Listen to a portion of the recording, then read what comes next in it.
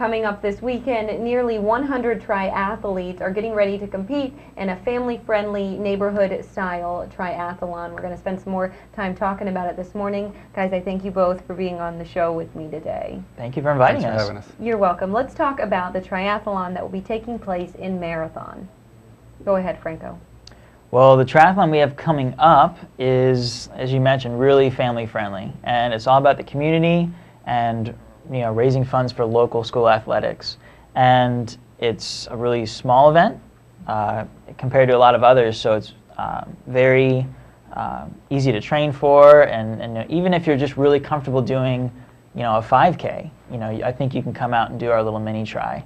And it's at Sombrero Beach in Marathon and we have anywhere from 50 to 100 people usually come to our event and it's having really good reviews and a lot of people coming back families friends and doing it together as teams as well Okay, wonderful. And now this event is being put on by Mara Tri, which is the organization that you both have founded. How did Mara Tri come about?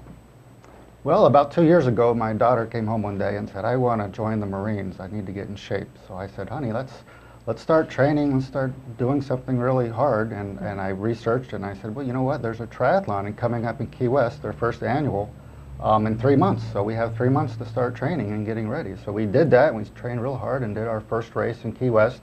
Had such a great time. Met with some of the members down, down here in Key West who put it on. And we decided, why doesn't Marathon have a club and, and do this kind of thing too? So that's where it started. Okay, so that's where it began. And now, can anybody get involved in this? I mean, you kind of mentioned that you can only do, even if you just run a 5K, you can still do this, right?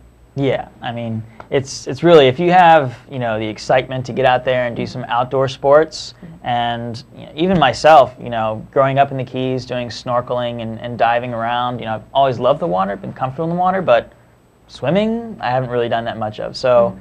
it's a small enough event that if you're just comfortable in the water you can get around a few buoys and, and get your way back up to the beach and you know the bike is it's all flat brand new roads around the golf course on sombrero beach it's only six miles and then the run is only half of a 5k and you just you just run around uh, some of the local streets and come back to the beach That's and not it's too bad. no it's, it's a great time actually Okay, now how did you both, and you can answer this individually, get interested though just in triathlons in general? Was it was it just your daughter for It was you? just my daughter. I really Okay. had no, no um, aspiration to do this at all. Mm-hmm. But when she said, I want to do something really hard, I said, well, let's try something really hard. I mean, Mm-hmm, triathlon is hard. And uh, Yeah. it was great to, to get out there and train with her and have a lot of quality time with her Mm-hmm. and um, get in shape at the same time. Okay. And now what about you, Franco?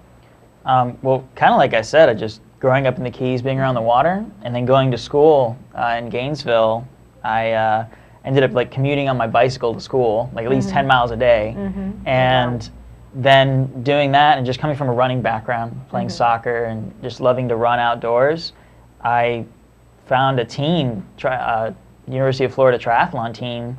I didn't even know that existed at the time, Mm-hmm. and I was like, well, I do all these three things anyway. I love the water starting to really love riding my bike and get pretty good at it, and I love to run. Let me see if I can put all three together. And when I joined the team, I just fell in love with the sport.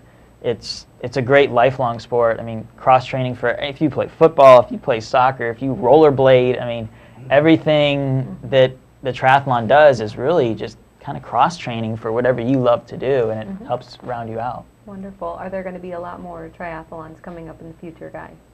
I hope so. Right. People keep wanting, wanting us to keep having them over and over again. So, so far, this is our sixth one in two years. Um, I don't see any uh, reason to stop now. Well, I hope you have many, many more. Okay, guys. Thank you you. for Thank you. sharing all this information, and hopefully our viewers can make it out to your event taking place in Marathon this weekend. I'm going to take a quick break right now, but I'll be right back after these messages. Stay with me.